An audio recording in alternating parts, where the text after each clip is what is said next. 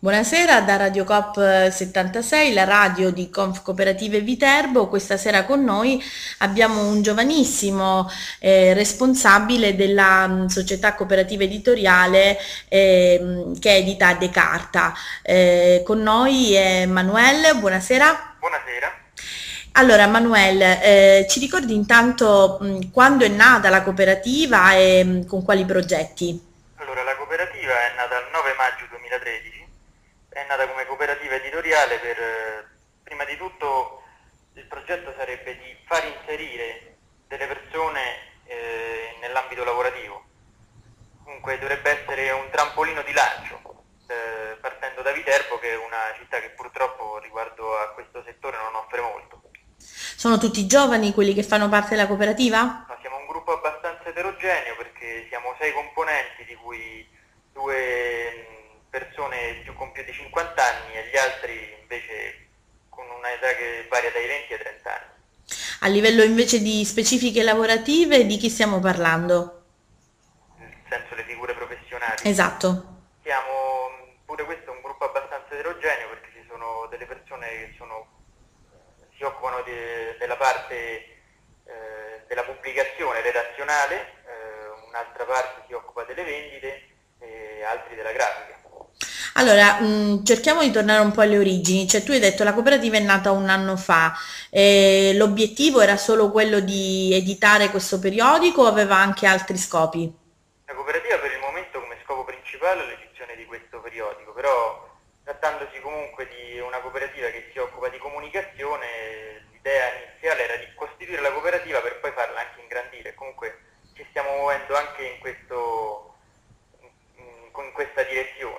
Stiamo Quindi... pensando di acquistare delle macchine per eh, poterci dedicare anche ad altri lavori che non siano solamente la rivista.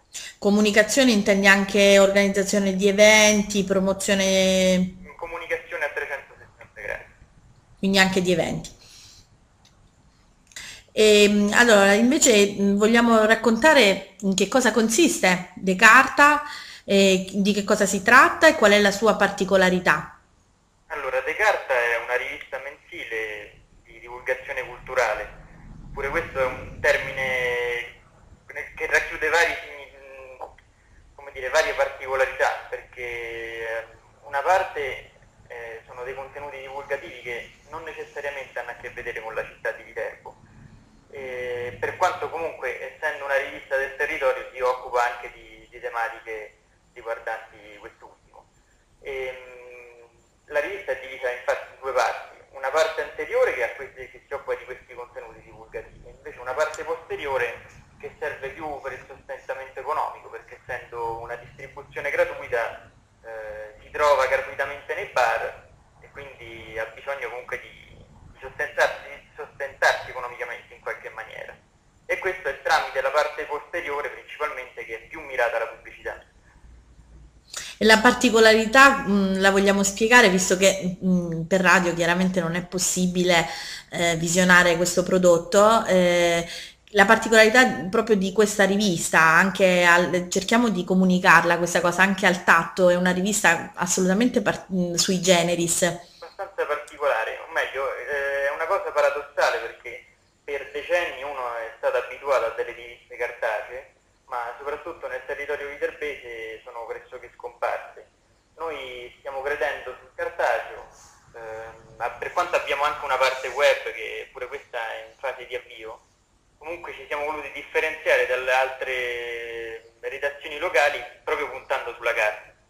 E eh, per questo motivo è stato scelto il nome che appunto è De Carta e poi anche la scelta dei materiali, infatti utilizziamo una carta uso umano molto ruvida al tatto che è insomma molto ruvida e piacevole al tatto soprattutto, è una delle caratteristiche che notano di più i nostri lettori. Oltre certo a curiamo molto anche la qualità delle immagini e dei contenuti. Non siamo una rivista di sola e semplice pubblicità.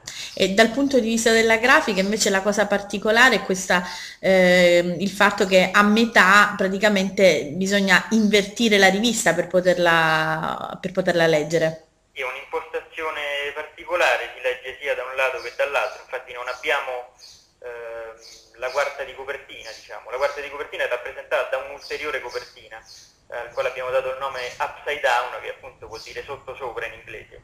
Eh, questo è anche un omaggio a un'altra rivista che usciva localmente una decina di anni fa che si chiamava Diritto Rovescio e che, della quale era editore mio padre. Quindi da, questo, da questa idea di qualche tempo fa, poi dopo eh, è nata anche questa di creare questa parte eh, al contrario. Quindi una tradizione di famiglia? Sì, una tradizione di famiglia, comunque io stesso, che mi posso definire il promotore di, di questa iniziativa, eh, tra i fondatori de, della nostra società, eh, comunque sono da sempre come famiglia in questo settore. E ricordiamo qual è il nome preciso della cooperativa? La cooperativa si chiama Lavalliere, che e questo è un nome che rimanda al nostro logo, che sarebbe un fiocco. Infatti il fiocco Lavalliere era un, un come dire, si potrebbe definire il fiocco anarchico, comunque un, questa sarebbe la simbologia non tanto con una connotazione politica quanto per la libertà de, dei nostri contenuti e del nostro modo di lavorare. Ecco, in che cosa mh, vi volete distinguere da quello che invece si trova normalmente anche sui banconi eh, dei negozi, dei bar? Beh, eh, diciamo, il, comunque non siamo vincolati a nessuno, i nostri contenuti sono di nostra ideazione e non vengono influenzati da sponsorizzazioni o, o comunque da, da, qualche potere, ecco. e, proprio perché comunque come persone siamo in questa maniera. Ci piace lavorare Liberi. individuali, anche la stessa società comunque al suo interno ehm, diciamo che non è strutturata in maniera troppo gerarchica. Comunque ci, ci sono dei coordinatori, ma poi dopo agiamo abbastanza autonomamente nel nostro lavoro. E tutti i soci partecipano all'edizione della, del periodico? c'è un direttore responsabile, chi si occupa della grafica, chi dei contenuti redazionali. Quindi alla fine tutti? Tutti quanti, sì, assolutamente. Che periodicità ha De Carta? De Carta è un mensile, esce in, sono 11 mesi su 12, perché ad agosto non, non c'è l'uscita. Ok, e a livello invece di target, chi è, diciamo, qual è il vostro target tipo? Cioè quello che volete, diciamo, eh, che avete in mente di colpire con i vostri contenuti? Il nostro target eh, non è molto specifico perché comunque abbiamo dei contenuti che tentano di rivolgersi più o meno a tutte le fasce di età. Eh, comunque principalmente rimaniamo una rivista che viene apprezzata forse di più eh, dalle persone dai 30 anni in su, forse proprio per un'abitudine maggiore a leggere informazioni su carta piuttosto che su formati digitali. E il web, anche se mh, chiaramente ha una, eh, una posizione diciamo non predominante nel vostro lavoro, comunque eh, cosa fa? Mensilmente richiama eh, il cartaceo, richiama solo alcuni dei contenuti? Sicuramente mensilmente richiama il cartaceo. Comunque noi forniamo anche una versione sfogliabile sul computer o sul tablet o sul cellulare della rivista. Poi comunque ci sono dei contenuti extra che difficilmente potrebbero trovare spazio sul cartaceo, che comunque, eh, ricordiamolo, è del tipo? uno spazio limitato in quanto proprio a numero di caratteri, non si possono inserire degli articoli esageratamente lunghi. Invece sul web ci possiamo concedere anche di fare degli approfondimenti eh, maggiori, ma la rivista infatti spesso, spesso all'interno della rivista sono riportati dei codici QR che la legano alla parte web. Comunque non è che lavoriamo eh, in antitesi, cerchiamo sempre di, di collegare le due cose. E I contenuti che vengono pubblicati sul web eh, sono di, di, vario tipo, pure questi non sono strettamente legati alla città di Viterbo, no, non necessariamente, possono esserlo, o essere di altro genere di interesse. Abbiamo uno dei nostri redattori che è un appassionato di sport e anche di calcio e spesso eh, pubblica delle sue memorie riguardo proprio aneddoti calcistici.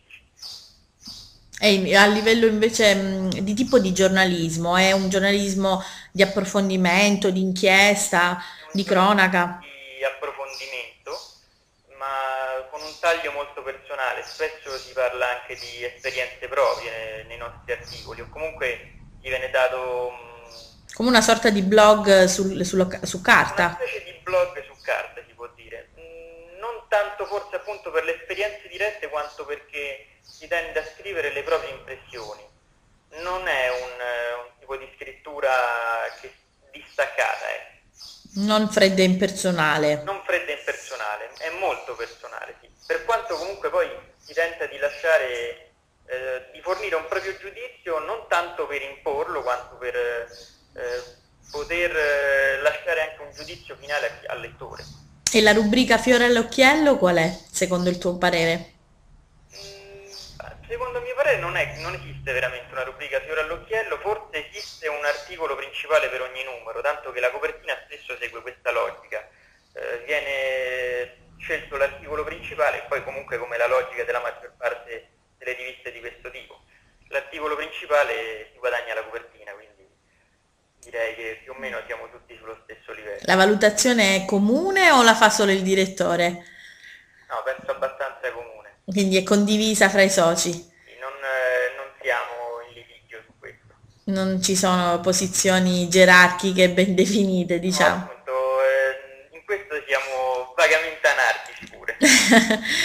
Ascolta Manuel, ehm, a proposito, il, il cognome lo ricordi, ce lo ricordi che non l'abbiamo detto all'inizio? Per completo mi chiamo Manuel Gabrielli. Ah, ecco.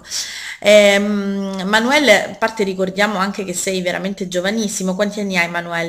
Del 91 ho 23 anni. Ecco, quindi un bellissimo esempio di gioventù che ancora veramente mh, crede spera eh, nella possibilità anche di non solo di creare uno strumento di lavoro eh, per sé e per gli altri, ma anche di creare qualcosa di originale, perché mh, ricordiamo appunto che eh, la cooperativa si concentra su questo prodotto editoriale che è veramente innovativo anche rispetto a ciò che normalmente si trova e si legge.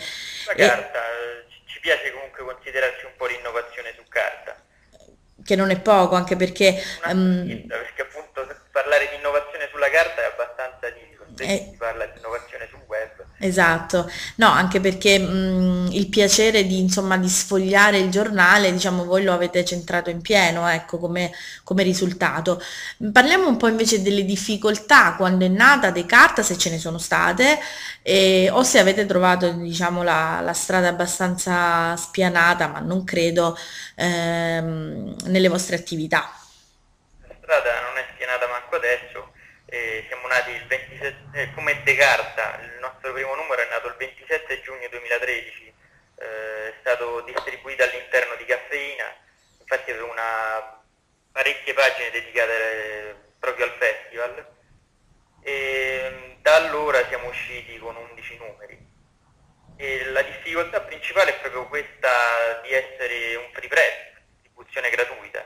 Comunque noi ci dobbiamo cercare la pubblicità ogni mese eh, non è difficile, intanto, eh, o meglio, è molto difficile, eh, non soltanto a livello locale, probabilmente anche a livello nazionale, ma a livello locale lo è particolarmente eh, per una questione un po' culturale, un po' economica. Comunque non si fa molta attenzione a questo genere di iniziative nel territorio viterbese, forse più per una questione eh, di arretratezza dello stesso. Non, eh... Questo è un po' il prezzo che bisogna pagare, credo, per essere liberi anche nello scrivere. Sì, sicuramente. Comunque, appunto, come prodotto io lo definisco un prodotto, noi lo definiamo un prodotto abbastanza innovativo, perché comunque per quanto si siano alternati altre edizioni comunque con simili intenti nel territorio comunque non hanno avuto vita facile, non sono durate nemmeno moltissimo tempo. Eh, proprio per questo motivo comunque, perché difficile eh, come dire, catturare l'attenzione verso certi temi, eh, certi temi che non a tutti interessano, paradossalmente non a tutti interessa la storia del proprio territorio. Però in questo vorrei fare una precisazione, perché poi dopo quando si parla in questa maniera di eh, comunque de, come se fosse una critica nei confronti del lettore, vorrei precisare che non si tratta di questo, comunque eh, noi stiamo tentando proprio di eh, catturare l'attenzione dei nostri lettori, anche quelli che al momento eh, adesso ancora non lo sono, perché comunque la responsabilità nella comunicazione è sempre del mittente, mai del destinatario. Quindi comunque stiamo tentando di lavorare in questa direzione per poter essere degli efficienti comunicatori. A questo proposito fate anche qualche attività correlata per promuovere il prodotto, comunque farlo conoscere il più possibile o avete notato che qualcuna delle vostre attività in qualche modo ha avuto questa rispondenza? Al momento ancora non stiamo facendo altre attività per quanto comunque sia tra gli obiettivi della rivista. Comunque questo momento noi siamo impegnati proprio nell'edizione perché non è un, un, lavoro facile, comunque i fondi non sono molti e ci servono tutti al momento per andare avanti con l'edizione. Poi eh, sperando in un futuro più florido speriamo appunto di poter organizzare anche qualche evento per promuovere la rivista e eh, allo stesso tempo promuovere l'evento con la rivista quindi al momento no, ancora non abbiamo... Mm, Invece parliamo un po' del fatto che, che nella tua memoria di questo anno di edizione eh, c'è qualcosa che ricordi di particolarmente bello, efficace, che è uscito e che ricordi con orgoglio? Eh, mi ricordo benissimo il nostro primo numero perché comunque pure per me era la prima esperienza e probabilmente anche per i miei, per i miei soci di questo tipo quindi mi ricordo bene le corse per andare a distribuire la rivista e comunque eh, la distribuiamo sempre noi a Viterbo. Sono 3.000 copie di media, ma poi dopo per, per i grossi eventi come è stato Caffina l'anno scorso ne abbiamo fatte 6.000. Quindi per quanto non sembri, forse eh, soltanto a parlare così di numeri, sono tantissime, non finiscono mai. Ci credo. E li distribuite e... in tutta eh, Viterbo e provincia o solo Viterbo? Per il momento è principalmente Viterbo, ci stanno alcuni numeri che riescono a, ad arrivare fino alla provincia ed altri addirittura a Roma. Comunque eh, la parte maggiormente coperta è sicuramente Viterbo. E poi dopo, comunque, a parte l'emozione della, pri della, prima uscita, le, le, altre emozioni sono state la possibilità di incontrare moltissime persone.